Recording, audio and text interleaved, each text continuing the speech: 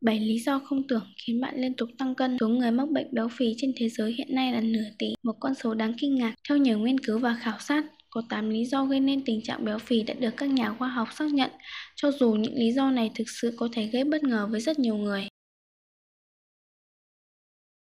Tránh những bữa ăn gia đình. Nghiên cứu cho thấy các bữa ăn gia đình có thể bảo vệ chúng ta khỏi bệnh béo phì và việc tăng cân không kiểm soát. Lý do là vì các bữa ăn gia đình có thể cung cấp cơ hội để các thành viên trong gia đình kết nối tình cảm và khuyến khích thói quen ăn uống lành mạnh. Theo kết quả của nghiên cứu, Trẻ em ăn cơm cùng gia đình ít nhất 3 lần một tuần có khả năng ăn uống dinh dưỡng và khoa học hơn những đứa trẻ khác tới 24%. Vì thế, thay vì ăn nhà hàng suốt ngày, dành thời gian cho những bữa ăn gia đình không chỉ gắn kết tình cảm của các thành viên mà còn thực sự tác động tốt đến phúc sáng của bạn.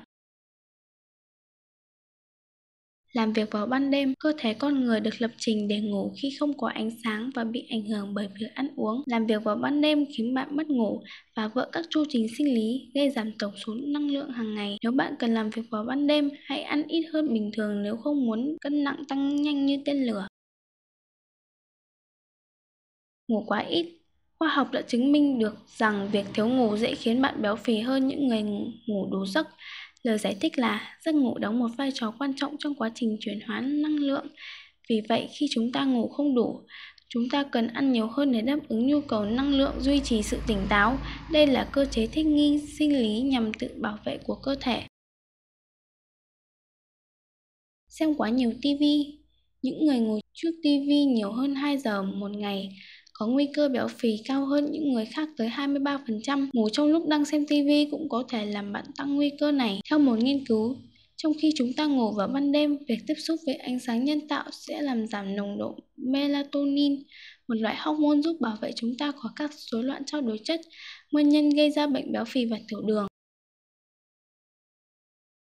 căng thẳng, trầm cảm, lo lắng. Những người phụ nữ bị trầm cảm sau chấn thương thường tăng cân rất nhanh và dễ bị béo phì hơn so với những người không mắc phải loại tình trạng này. Tin tốt là tình trạng này không mang tính vĩnh cửu. Khi các triệu chứng rối loạn căng thẳng này giảm đi, các nguy cơ về mắc bệnh béo phì cũng sẽ giảm đáng kể. Mặt khác, hơn 50% số người phản ứng với stress bằng cách ăn uống, đặc biệt là thực phẩm giàu chất béo và đường.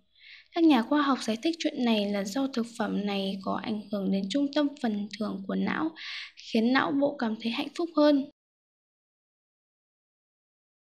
Ăn thực phẩm ít béo, một nghiên cứu đã kết luận rằng uống sữa và các chế phẩm từ sữa, bơ, format có nhiều chất béo có tác dụng tích cực với việc làm giảm nguy cơ phát triển bệnh béo phì hơn.